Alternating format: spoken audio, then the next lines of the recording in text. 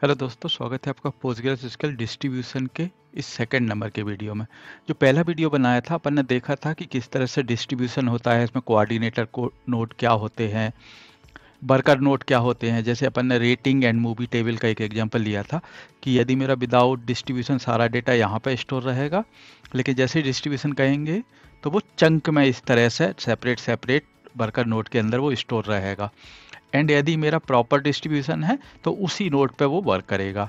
तो ये अपन ने डिटेल में समझा है। यदि आपने वो वीडियो नहीं देखा है तो यहाँ पे जो ये आई आईकॉन लिंक दिख रहा है, यहाँ पे मैंने अपना लिंक उस वीडियो का लिंक डाला है। यहाँ से आप वो वीडियो देख सकते हैं।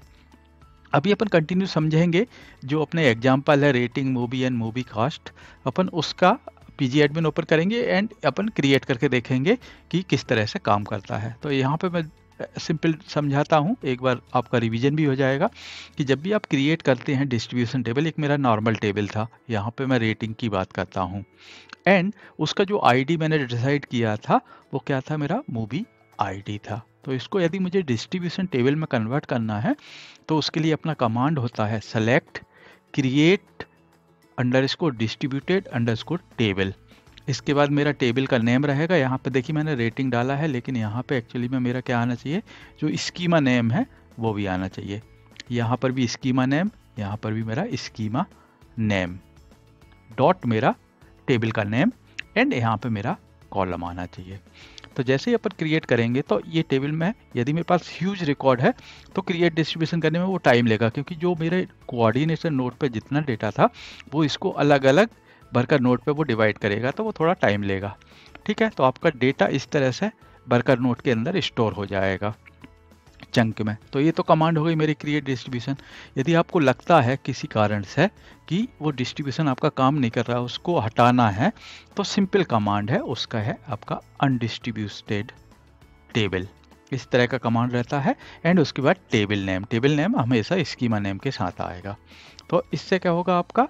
अनडिस्ट्रीब्यूटेड हो जाएगा। यदि फिर से क्रिएट करना है तो सेम कमांड रहेगा, आप कॉलम को चेंज कर सकते हैं। यदि आपने देखा होगा, पिछले एग्जांपल में अपन ने देखा और अभी आगे भी देखेंगे, यदि आपने एक टेबल को यहाँ पे डिस्ट्रीब्यूटेड टेबल कर दिया है, एक पर्टिकुलर मूवी आईडी पे, यदि आपने इसको नहीं किया है, इसको कर दिया है, यदि आप ज्वाइन करेंगे इस तरह से तो आपका ये ज्वाइन नहीं चलेगा। या यहाँ पे मैंने मूवी आईडी है, यहाँ पे मैं रेटिंग आईडी पे डिस्ट्रीब्यूटेड कर रहा हूँ तो मेरे इसके साथ ये ज्वाइन नहीं चलेगा। क्योंकि इसका डेटा हो सकता है यहाँ पे है, दूसरा यहाँ पर है। तो अपन इसका क्रिएट करके एक एग्जांपल लेते हैं ओपन करते हैं, देखते हैं। ये क्योंकि मैं अपना जो वीडियो है, ये विंडो मशीन पे बना रहा हूँ, मेरी लोकल मशीन पे तो मेरे पास क्लाउड नहीं है। तो मेरा जो साइटल जो एक्सटेंशन होता है, उसकी वजह से आपका ये डिस्ट्रीब्यूशन होता है, उस पर रहता है। तो ये मैंने इंस्टॉल नहीं किया है तो मैं कमांड चलाऊँगा तो हो सकता है मेरी कमांड नहीं चलेगी, क्योंकि मेरे पास एक्सटेंशन नहीं है। लेकिन यदि आप क्लाइंट के साइड पर हैं या आपके पास साइटस या आप क्लाउड यूज़ कर रहे हैं तो आपको हमेशा साइटस इंस्टॉल करना रहेगा जब भी आप डिस्ट्रीब्यूशन यूज़ करने रहते हैं। तो ये उसका एक्सटेंशन है। चलिए पीजी एडमिन ओपन करते हैं एंड वहाँ पे डिटेल में समझते हैं। चलिए यहाँ पे मैंने पीजी एडमिन ओपन कर लिया है एंड यहाँ पे आप लेफ़्ट साइड में देखेंगे तो मेरे पास डेटाबेस है, यहाँ पे देखिए पोस्ट ग्रेस है एंड यहाँ पे मेरा डायरेक्ट स्कीमा आ रहा है।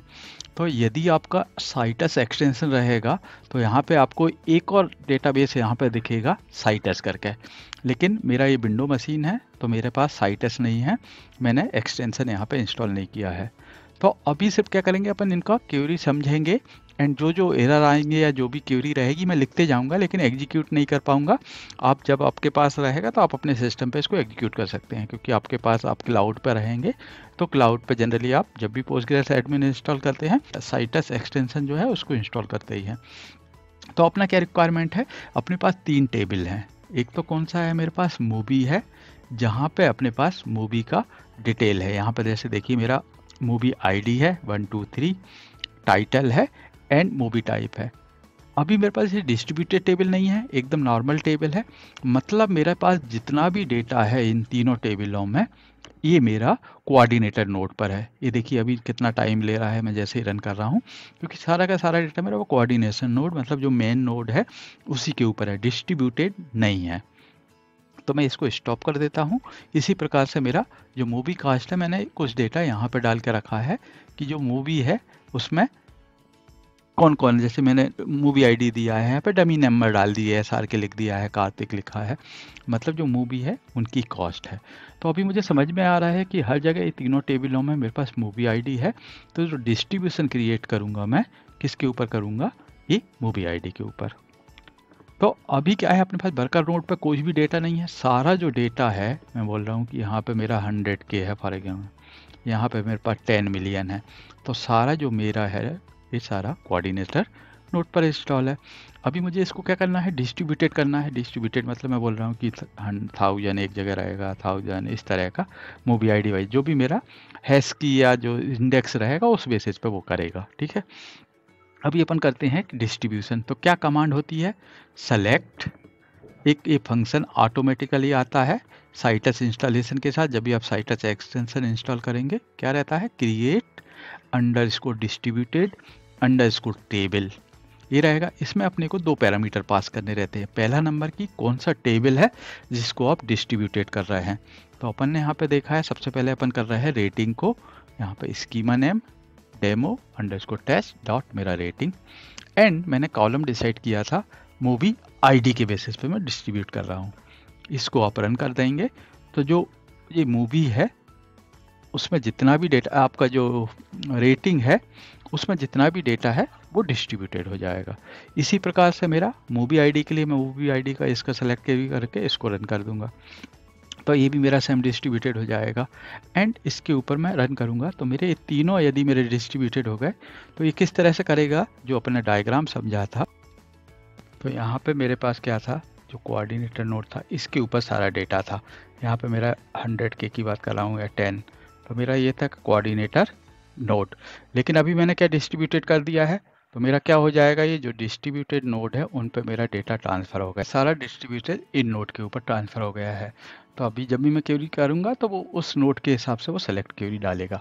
तो ये तो हो गया मेरा क्रिएट डिस्ट्रीब्यूशन लेकिन यदि मुझे लगता है कि भाई मेरा डिस्ट्रीब्यूशन एम आई पे वो करेक्ट नहीं था या चल नहीं रहा है, यदि आपको इसको रिवर्ट करना है तो उसके लिए क्या कमांड होता है? सेलेक्ट अनडिस्ट्रीब्यूटेड टेबल यहाँ पे देखिए, ये अनडिस्ट्रीब्यूटेड टेबल एंड यहाँ पे आपका टेबल का नेम फॉर एग्ज़ाम्पल मैं मूवी की बात कर रहा हूँ तो यहाँ पे क्या हो जाएगा मेरा? Demo under score test dot movies. तो यहाँ पे क्या अपना? Demo test dot movies. And इसको ओपन रन करेंगे। तो, तो ये क्या हो जाएगा मेरा? अनडिस्ट्रीब्यूटेड हो जाएगा। तो ऐसे ही सबको रन करना है तो सबके लिए आप अपना टेबल नेम डालते जाइए। ये क्या हो जाएगा? अनडिस्ट्रीब्यूटेड हो जाएगा। यदि आपको देखना है कि आपका कौन कौन सा टेबल डिस्ट्रीब्यूटेड है तो उसके लिए कमांड होता है साइटस टेबल।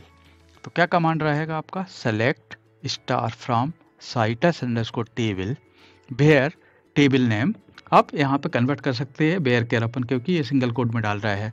तो सबसे पहले मैं देख रहा हूँ कि movie number, movie name, and second number का रेटिंग। तो इन दोनों को मैं सेलेक्ट कैरी करूँगा तो मेरा रिज़ल्ट में दिखाएगा कि मेरा ये दोनों टेबल डिस्ट्रीब्यूटेड है, एंड उनका डिस्ट्रीब्यूशन की कौन सा है? तो ये मूवी आईडी डिस्ट्रीब्यूशन की के अगेंस्ट वो दिखाएगा।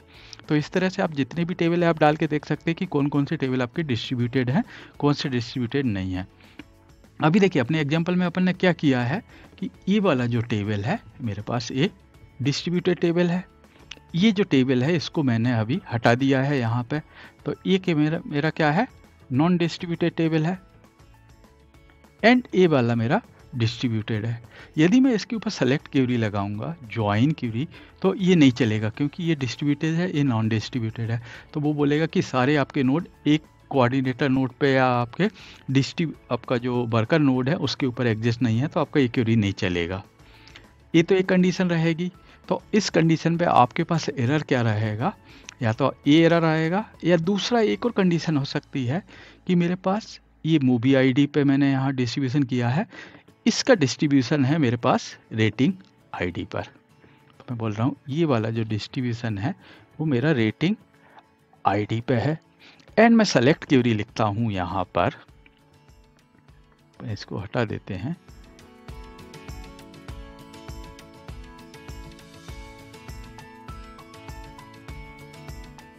इसको कट करके मैं ऊपर डाल देता हूँ। यहाँ पे मेरा क्या क्वेरी रहेगा कि मेरा सेलेक्ट स्टार फ्रॉम मेरा मेन टेबल मैं बोल रहा हूँ कि मेरा मूवी है। यहाँ पे लेफ़्ट ज्वाइन ये सिर्फ़ एग्ज़ाम्पल के लिए मैं दे रहा हूँ, आपका कंडीशन डिफरेंट रहेगा। यहाँ पे मेरा क्या आएगा? रेटिंग है। इसको मैं बोल देता हूँ ए एंड इसको बोलता हूँ मैं बी एंड मैं करता हूँ on A dot equal to B dot and इसका मैं बोल रहा हूँ कि रेटिंग आईडी यहाँ पे एंड यहाँ पे मैं बोल रहा हूँ कि मेरा मूवी आईडी है। तो जो डिस्ट्रीब्यूशन है, ये वाला अलग है movie ID and rating ID मैं जब इसको रन करूँगा तो वो मुझे एरर देगा, किस तरह का एरर मिलेगा, आपको इस तरह से मिलेगा कि complex join are only supported when all distributed table are colocated and join in the distributed column तो अभी देखिए, ये तो मेरा रेटिंग आईडी पे है मूवी आईडी पे मतलब डिफरेंट नोट पे है डिफरेंट डिस्ट्रीब्यूशन पे है वर्किंग नोट पे तो इसकी वजह से आपको ए एरर दिखेगा। तो इस तरह की जो प्रॉब्लम रहते हैं जनरली आपका रहता है कि सारा डेटा एक जगह नहीं रहेगा। जैसे आप एक बैंकिंग में काम कर रहे हैं तो हो सकता है आपका एक कस्टमर का अलग डेटा रहे, और आपका जो प्रोडक्ट है, उसका अलग डेटा रहे, लेकिन आपको डिस्ट्रीब्यूशन के लिए कॉमन की नहीं मिलेगा। तो उस कंडीशन पे अपन क्या करेंगे कि जो डिस्ट्रीब्यूशन है, एक कॉमन टेबल एक्सप्रेशन जो अपन ने समझा है सी टी उसका यूज़ करेंगे ज्वाइन करने के लिए। तो वो अपन एग्जांपल लेके अभी समझते हैं। बाकी आपको ए एरर आएगा। एक एरर आएगा कि हो सकता है कि आपने इसको डिस्ट्रीब्यूटेड नहीं है नॉन डिस्ट्रीब्यूशन और दूसरा डिस्ट्रीब्यूटेड है, तब भी आपको एरर आएगा। लेकिन ये जो वैलिड कंडीशन है कि आपका डिस्ट्रीब्यूशन तो है, लेकिन मेरा जो डिस्ट्रीब्यूशन की है वो डिफरेंट डिफरेंट है। उसको यदि आपको ज्वाइन करना है तो उसके लिए कॉमन टेबल एक्सप्रेशन होता है। तो अपन लिख के देखते हैं किस तरह से आप वो ज्वाइन कर सकते हैं। ठीक है तो उसके लिए अपने को क्या लिखना रहता है? C T E common table expression तो अपन इनको क्लियर कर लेते हैं। अपने के पास मूवी के नेम है। यहाँ पर।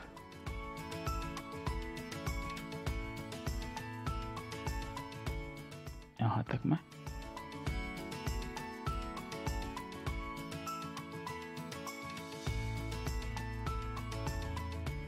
क्रिएट कर लेता हूँ।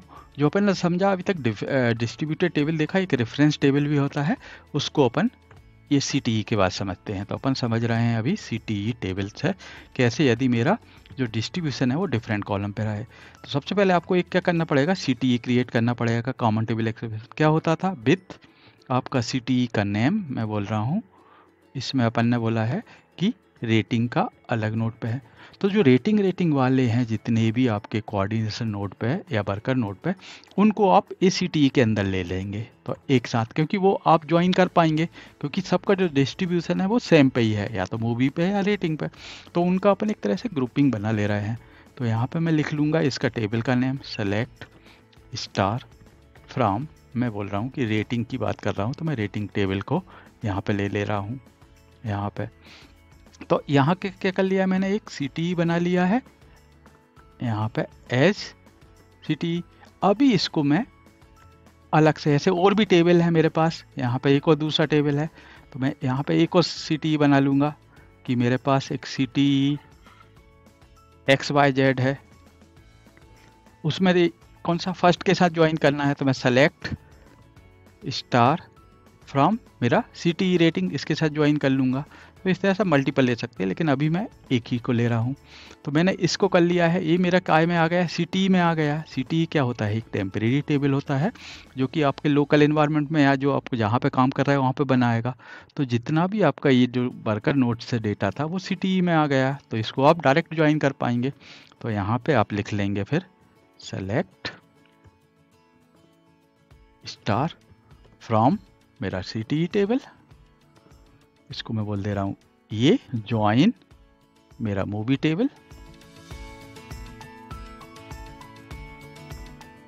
इसको बोल देता हूँ बी एंड ऑन अभी मैं क्या कर लूँगा, इसका जो डिस्ट्रीब्यूटेड मेरा काय पे रेटिंग पे था, लेकिन मुझे ज्वाइन काय पे करना है मूवी आईडी पे तो मैं बोल दूँगा ए का movie ID equal to V dot movie ID इस तरह से। जब आप इसको रन करेंगे तो ये प्रॉपर चलेगा। लास्ट टाइम आप रन करेंगे, क्योंकि आपका मूवी आईडी पे नहीं है, आपका डिस्ट्रीब्यूशन डिस्ट्रीब्यूशन आपका रेटिंग आईडी पे है तो उस समय एरर देगा। तो आप इस तरह से सी क्रिएट करके इसको आप रन कर सकते हैं। एक अदर ऑप्शन रहता है, इसमें होता है रेफरेंस टेबल तो रेफरेंस टेबल का कॉन्सेप्ट क्या होता है? कि आप डिस्ट्रीब्यूटेड कर रहे हैं, आपके पास कोऑर्डिनेशन नोड अलग अलग स्मॉल स्मॉल कोऑर्डिनेटर नोड है, लेकिन रेफरेंस टेबल यदि आप कब यूज़ करते हैं कि आपके पास एक स्मॉल टेबल है। आप बोल रहे हैं कि मेरे पास जो रेटिंग टेबल है, उसमें मेरे पास टेन मिलियन रिकॉर्ड हैं। एंड आपके पास एक टेबल है, जहाँ पे कि मैं बोल रहा हूँ कि फॉर एग्जांपल मूवी कास्ट जहाँ पे कि मेरे पास ओनली थाउज़ेंड रिकॉर्ड हैं। एंड इसको मेरे को ज्वाइन करना है हमेशा रेटिंग के साथ। तो मैं क्या करूँगा? रेटिंग टेबल जो रहेगा, ये मेरा डिस्ट्रीब्यूटेड टेबल रहेगा, लेकिन इस टेबल को मैं कर दूँगा रेफरेंस टेबल बना दूँगा। तो मैं जब भी ज्वाइन करता हूँ रेफरेंस टेबल किस तरह से काम करता है कि हर जो डिस्ट्रीब्यूटेड नोट रहेंगे वर्कर नोट रहेंगे, उनके ऊपर ये टेबल अवेलेबल रहेगा। मतलब आपके जैसे 100 वर्कर नोड हैं तो 100 के 100 नोड पे आपको एक टेबल मिल जाएगा, क्योंकि आपके पास रिकॉर्ड स्मॉल है थाउज़ेंड है तो आपको परफॉर्मेंस का उतना स्पेस का प्रॉब्लम नहीं आएगा। तो इससे क्या होगा, इसको सीधा सीधा ज्वाइन मिल जाएगा उसी नोट पे। तो अपन उसको कैसे क्रिएट करते हैं? रेफरेंस टेबल को, उसका भी सिंटेक्स सेम है। Select create under score reference under score table आपका टेबल का नेम एंड आपका कॉलम का नेम तो ये क्या हो जाता है आपका रेफरेंस टेबल क्रिएट हो जाएगा। तो आप जैसे ज्वाइन अपन ये सी टी ई से करने की बजाय, आप डायरेक्ट इस टेबल को इससे कर लेंगे, जबकि इसका मेरा डिस्ट्रीब्यूशन की अलग है। जैसे यहाँ पे मैं बोल रहा हूँ रेटिंग है एंड इसमें मेरा क्या है? मूवी आईडी है। तो दोनों आप ज्वाइन कर पाएँगे क्योंकि इसी नोट के अंदर मेरा ये रिकॉर्ड भी है। ये रिपीटेटिव होगा मल्टीपल नोट पे लेकिन आपके पास थाउज़ेंड रिकॉर्ड है तो आपको स्पेस का प्रॉब्लम नहीं आ रहा है। तो उस कंडीशन पे अपन ये जो क्रिएट रेफरेंस टेबल है, उसको यूज़ करते हैं। ठीक है? तो ये तो एकदम सिंपल था बेसिक था, क्योंकि मेरे पास साइटस एक्सटेंशन नहीं था, इसके कारण मैंने रन करके नहीं दिखाया है। लेकिन आप ये जो जितनी भी कमांड मैंने लिखी है मैं अपने डिस्क्रिप्शन बॉक्स में दे दूँगा तो आप अपने जो इन्वायरमेंट में, वहाँ पे आप रन करके देख सकते हैं। ठीक है? चलिए, मिलते हैं नेक्स्ट वीडियो में। यदि आपके पास कोई भी डाउट रहेगा तो आप कमेंट में लिख सकते हैं। बाय दोस्तों, यदि आपको वीडियो पसंद आया हो तो सब्सक्राइब शेयर एंड लाइक करना ना भूलें। Thank you bye